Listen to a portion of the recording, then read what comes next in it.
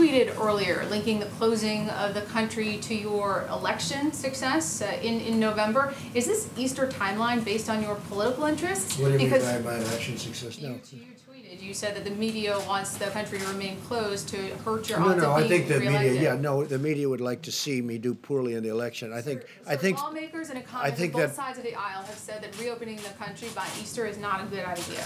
What is that plan based on? just so you understand, are you ready? I think there are certain people that would like it not to open so quickly. I think there are certain people that would like it to do financially poorly because they think that would be very good as far as defeating me at the polls.